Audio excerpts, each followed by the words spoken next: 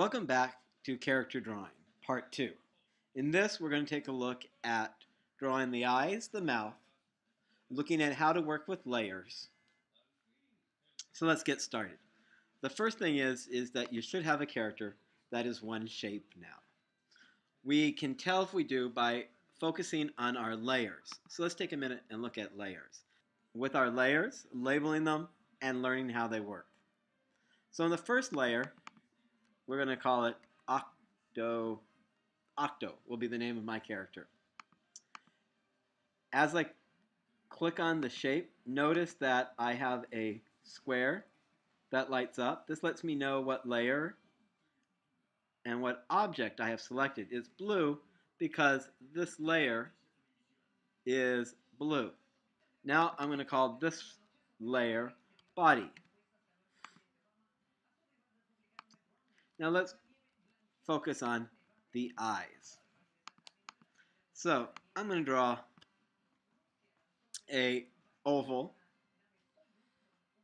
for the back of my eye and I want to add a little bit of shading. So in this case I'm going to come up to my fan, click on the blue, and let's go to a darker shade, maybe a purple.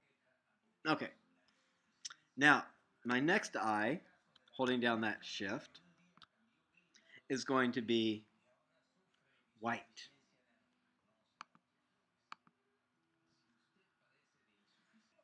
Now I've just drawn my circle and added a gradient, but I don't want the black and white gradient. It's too heavy. So I'm going to go to my color guide. I'm going to drag down a light blue. Now my shading is going to be darker at the bottom and lighter at the top. Now I need to get my pupil. And in this case, I want to take a black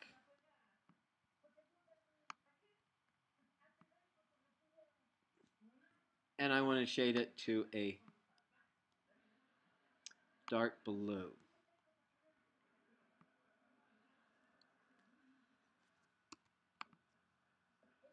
And now I need to come up with a white dot. This one is going to be just a white dot.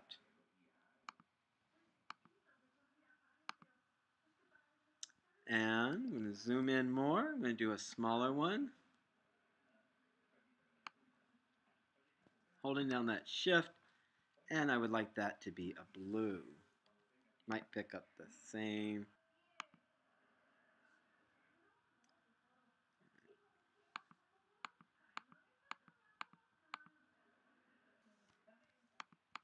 Let's group them. Now it's in a group, and I'm going to call this eyes. And I can readjust the size of my eyes.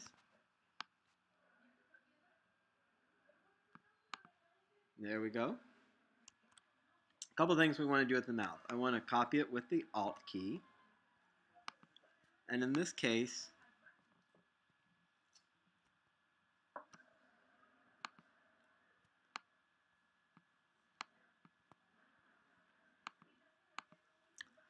Doesn't matter what color I'm using for this outside. I'm going to make sure I use my alignment tool so it's exactly in the center.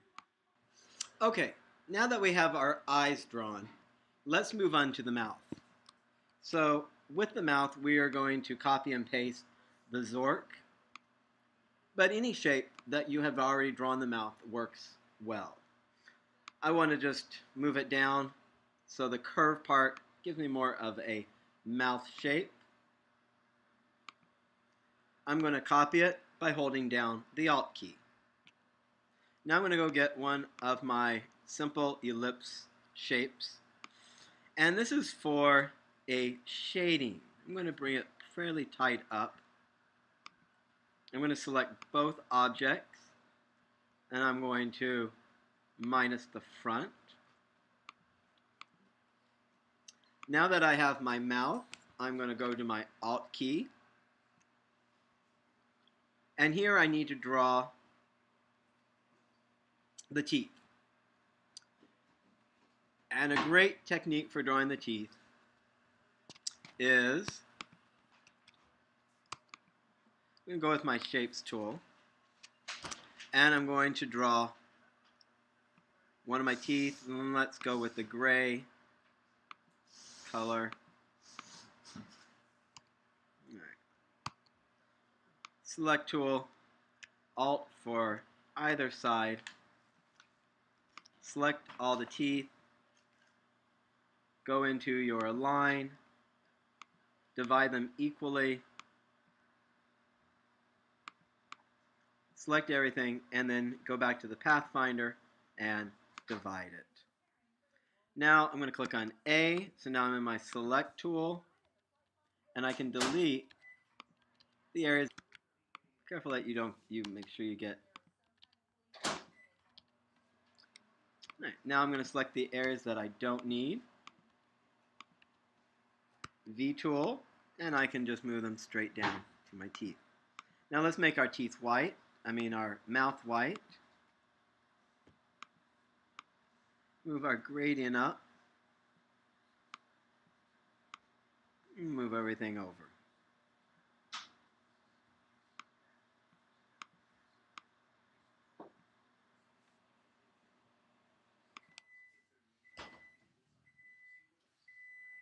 And now we have created now and now we have created our mouth and our eyes.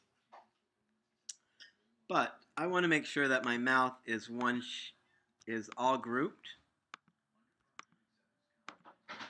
So I'm going to group it, coming over to my layers, and I'm going to name it mouth.